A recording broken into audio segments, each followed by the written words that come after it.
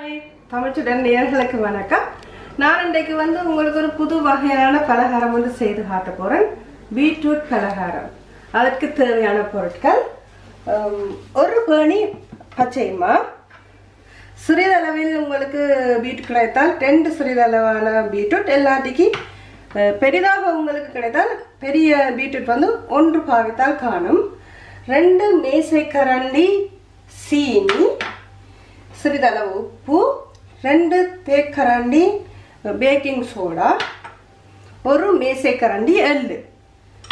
இந்த பீட்ரூட்டை நான் தோலை நீக்கி சிறிதளவாக வெட்டி சீனியுடன் சேர்த்து மிக்சியில் அரைத்து சாறாக எடுத்து வைத்துள்ளேன்.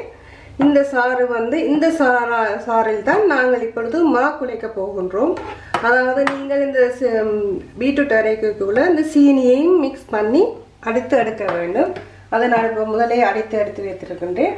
இப்பொழுது நான் இந்த சாறை வைத்து இதற்கு நாங்கள் சிறிதளவு உப்பு போடுவோம். அதனுடன் நாங்கள் எடுத்து வைத்துள்ள பேக்கிங் சோடா பவுடரையும் போடுவோம்.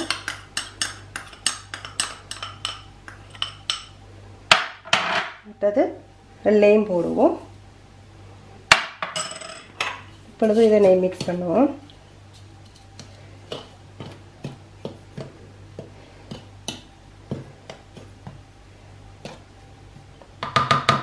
இனி நீங்கள் இந்த நாங்கள் அரைத்து வைத்த சா சாரினால் இந்த மாவை குழைக்க போகிறோம். குழைத்து எடுக்க போகிறேன்.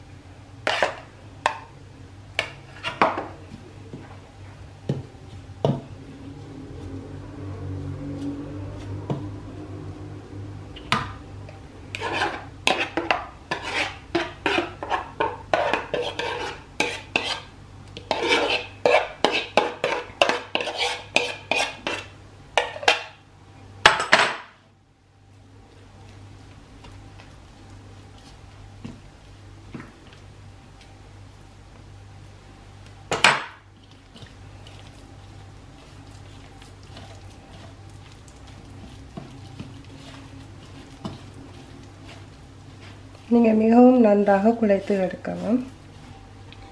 இப்பொழுது நான் நன்றாக குழைத்து எடுத்து விட்டேன் நீங்கள் இது குழைக்கும் போது அந்த சாறு வந்து உங்களுக்கு காணாமல் போனால் நீங்கள் கொஞ்சம் சிறிதளவு தண்ணீர் சேர்த்து குழை குழைத்து வைக்கலாம். இதே வந்து நான் இப்பொழுது அரை மணித்தியாலம் இலக விட போகின்றேன். அரை மணித்தியாலம் இலக விட்டிங்கன்னா நல்லா சாஃப்டாக வரும். அதற்கு பிறகுனா நாங்கள் பலகாரம் சுட்டெடுக்க வேண்டும். இப்பொழுது அரை மணித்தியாலம் நாங்கள் இதனை இலக விட்டோம். சாஃப்டாக இருக்கின்றது. இது வந்து உங்களோட கையில் வந்து நீங்கள் இப்படி தொட்டு பாகைகளை ஒட்டினால் சிறிதளவு எண்ணெய் சேர்த்து சிறிதாக நிறைய சிறிதளவு எண்ணெய் சேர்த்து வைத்தீர்களானால் உங்களுக்கு கையில் வந்து ஒட்டாது. நீங்கள் இதனை உருட்டும் பொழுது கையில் எண்ணெய் தடவி உருட்டினீர்கள் என்றால் உங்களுக்கு சுலபமாக இருக்கும். எண்ணெயும் சூடாக ஆயத்தமாக உள்ளது. நாங்கள் இப்பொழுது உருட்டி உருட்டி இதற்குள் போடுவோம்.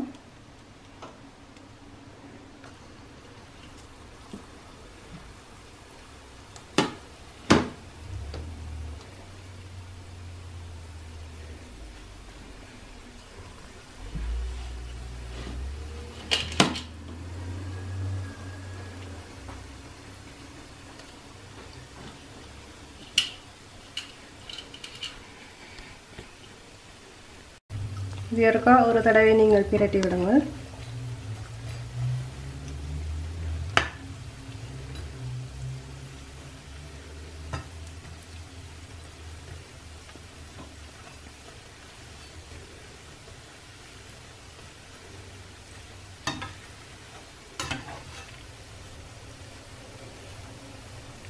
இது இப்பொழுது நன்றாக வெடிவிட்டது வேகி வரைக்குள்ள அப்படி வெடித்து வரும் நீங்கள் அதை கவனித்து நீங்கள் எடுத்தீர்கள் என்றால் அது வந்து வேகிருக்கின்ற அர்த்தம். இந்த பலகாரம் வந்து நான் வந்து இந்த சைஸில் போட்டிருக்கேன். நீங்கள் உங்களுக்கு விரும்பிய சைஸில் போட்டு எடுக்கலாம். பீட்ரூட் பலகாரம் இப்பொழுது தயாராகிவிட்டது. பார்த்தீங்களா? இப்படி அழகாக இருக்கின்றது. இந்த பலகாரம் வந்து சிறியவர்கள் மிகவும் விரும்பி விரும்பி சாப்பிடுவார்கள். இப்பொழுது நான் ஒரு பல ஒரு பலகாரம் வந்து டேஸ்ட் பண்ணி பார்க்குறேன்.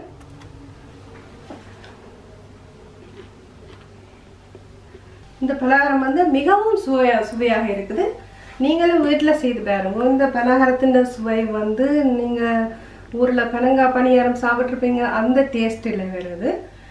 சிறியவர்களும் மிகவும் விரும்பி சாப்பிடுவார்கள். இப்போ நாங்கள் எடுத்து நான் எடுத்த அளவையில் வந்து இந்த பலகாரம் வந்தது பதினேழு பலகாரம் வந்திருக்கு. இந்த பலகாரம் வந்து நீங்கள் உங்களுக்கு விரும்பிய சைஸில் செய்ய செய்ய செய்தெடுக்கலாம்.